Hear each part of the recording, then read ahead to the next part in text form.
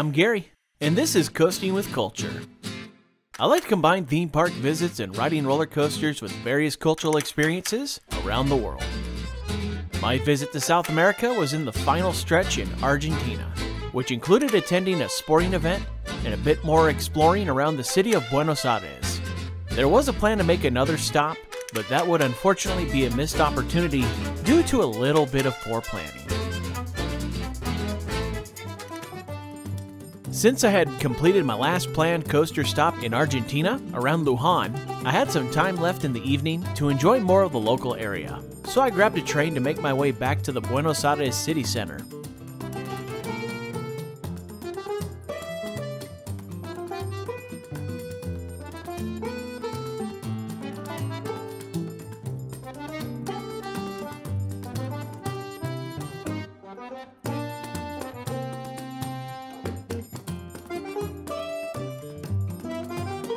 Eventually, I made it to the Liniers neighborhood, which is home to Jose Amalfitani Stadium. The stadium was hosting a Super Rugby match between the hometown Jaguares and the visiting Queensland Reds from Australia. This would be my second Super Rugby match after seeing the same Queensland Reds visit the DHL Stormers during my 2018 visit to South Africa at Cape Town's Newlands Rugby Stadium. Before the match began, there was FanFest, where fans could enjoy a variety of pregame activities, from enjoying some beverages to special inflatable games for the kids. But my interest was for what was about to take place in the stadium. This facility opened in 1951 and also serves as the home stadium of the Argentine professional soccer team Club Atlético Vélez Sarsfield.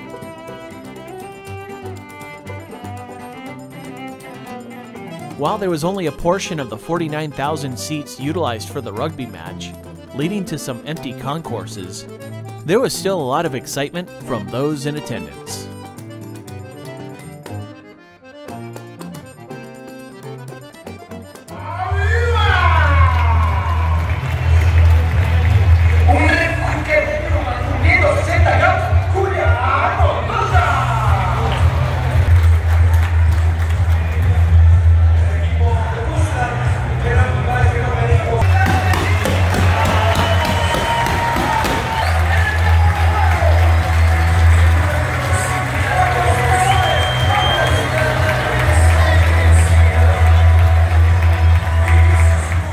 I still don't fully understand the strategy of rugby, I did enjoy watching it again after having a better understanding of the general rules, thanks to watching it in South Africa.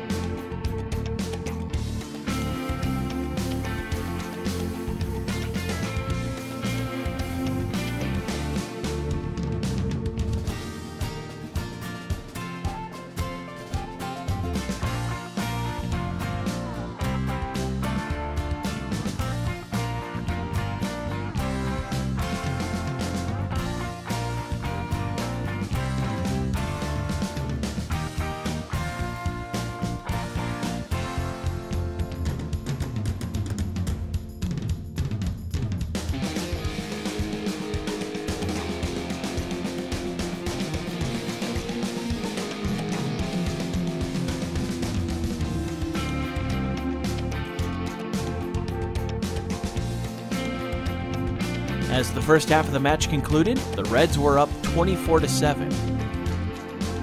The halftime show looked like something out of Carnival with a full percussion band and a variety of dancers in outfits inspired by the popular event.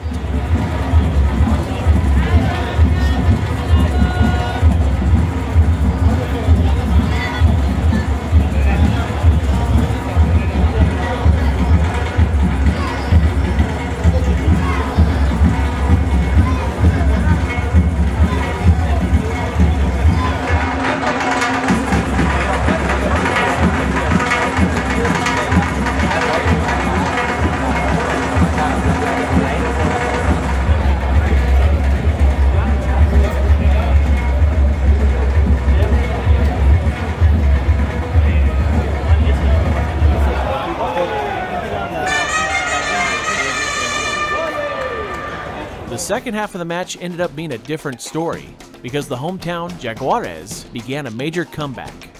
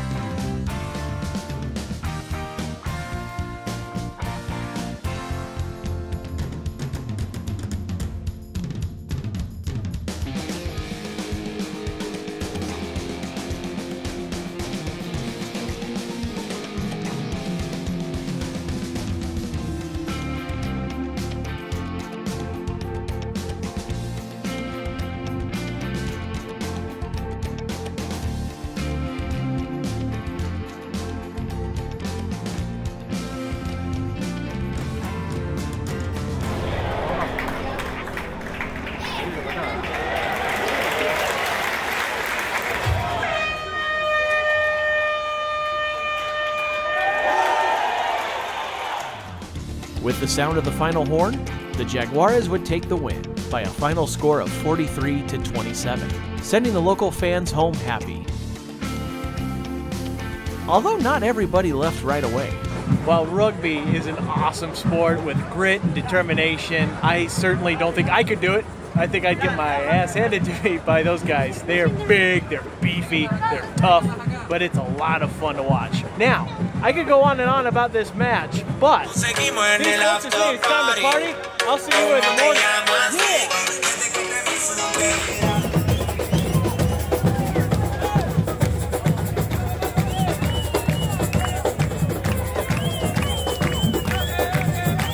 While it was neat to see the post match party, this would prove to be a bit of a mistake the next morning. Originally, this last day before beginning the journey home was meant to be for a side trip out of Buenos Aires, taking a ferry across Rio de la Plata to Montevideo for a day trip that would have made Uruguay the sixth different country of this South America trip. I was planning to see the likes of Fortaleza del Cerro, walk along La Rambla, watch some traditional candombe music, and of course, see if I could ride a coaster or two before catching the ferry back to Buenos Aires in the evening. Unfortunately, I had a bit of a setback the morning of this planned visit.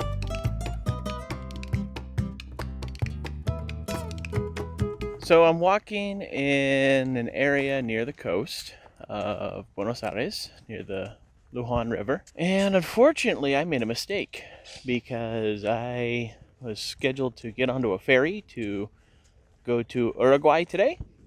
And I was going to go to visit Montevideo for the day. 7:15 departure of the ferry. I woke up at 6:30 thinking I was going to have to ride up to the north end of the area closer to Tigre. In a panic, I get dressed. I get an Uber scheduled. Ride the Uber, get here with like two, three minutes to spare. And it turns out the ferry terminal that I was looking for was actually back closer to the city center. So I probably could have made it if I had known the correct ferry terminal. But unfortunately, my research showed me the wrong place. So now I'm walking back to the main part of the road. Gonna see if I can get an Uber to the right ferry terminal and see if I can get rescheduled so that I could still get to Uruguay today.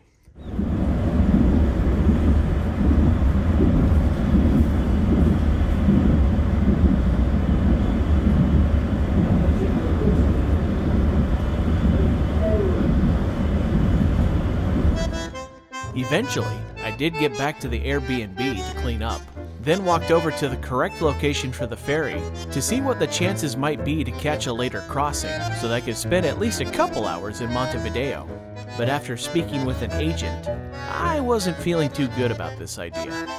So I got to the ticket counter, and unfortunately, the ticket that I had purchased was non refundable. When asking how much it would be to purchase a one way ticket to get over to Montevideo, it was gonna be about the same price as what I paid for the round trip ticket. And so realistically, didn't seem like it would be worth it because on the original itinerary, I would have had the whole day to enjoy the city of Montevideo.